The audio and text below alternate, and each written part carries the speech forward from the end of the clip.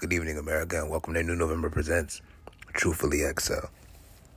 And tonight we're gonna be talking about uh you mean you read the title. Who you who you calling a bitch, man? Like when is it appropriate to fight for your lady and when is it appropriate to just leave that thing to the streets? Now, hmm, in my personal experience, right? Mm-hmm.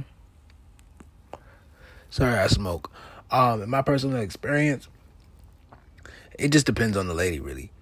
It just depends on the lady. Because some girls, um, all women, all women are going to want you to fight for them. All women are going to want you to protect their honor and, and, and defend them and no matter what. You know what I mean? Some niggas are like, man, I ain't about to be fighting out here for no bitches. If a nigga want that bitch and she rolling, then fuck it, take her. And to an extent, I can agree. Because if she's rolling with it, then fuck it. You know what I'm saying? If she with it, if she with that nigga, then fuck it. Let her let let live and let live. You know what I mean? But I will say this. I've been on the opposite end of it, right? Well, I mean, I've been on both sides of it.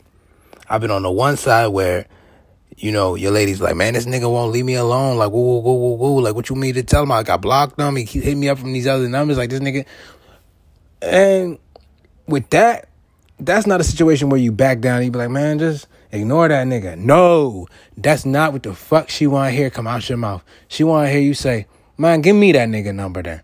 Man, where he stay at? Where his grandmama stay at? You know, she wants she wants you to say some shit like that. W- well, with warning though, with warning, if you gonna say some shit like that, you gotta live that shit.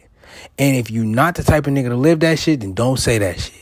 Cause she gonna expect you to live on that. And if you don't live on that, she she gonna bring it up in the, future. Oh, would you ain't do that to that? You know what I'm saying? So it's a dicey game. Me personally, no, I'm gonna see about that situation though. I believe that in other situations where it's like, oh man, I just met Shorty. She got all this. She got baggage. She got these niggas jumping out the. You know, and she got all these niggas doing all this bunch of different shit. Man, it's up to you. Judgment call. How much you like her? What, what are you gonna do? What are you gonna do? There's some girls in this world, bro. You may not believe this shit. They want you to die for them, for them, for their love, and some of them are worth it. I'm sure some of them are worth it, but eh, you got to be sure that you like. Like I brought this up to my lady earlier, right? You this generation is, is is spoiled. We can swipe right, we can swipe left, we could just, you know what I'm saying, get what we want. You know what I mean? Like we're not get what we want, but we have access to all these things that we think we deserve to have and we you know what I'm saying, we're gonna go after those. Instead of getting to know people and making a genuine connection with the people that that, that are surrounding us. You know what I mean? And I believe that all girls want a nigga that's gonna defend them all women want a nigga that's going, you know what I'm saying, be somewhat macho. You know? Now, if, like on the other end of the spectrum, if you a nigga trying to go smack at a shorty, but she got a nigga and she telling you how trash she is and she just can't leave him because of this reason and that reason or whatever, and she just on the fence about it, but she really thinking about letting you pipe down, test him. test the nigga. Test him. See what he shit. See. See. Say, look, tell him, just be a man about it. I like her. I'm trying to talk to her. I mean, you're not really, you know what I'm saying? So, what, what's what's up? What we doing here? If he say, "Fuck you, nigga, suck my dick," then um, handle that, handle that. You know what I'm saying? Talk to that man. Talk to that man. Talk right into that nigga's shirt. Talk to him.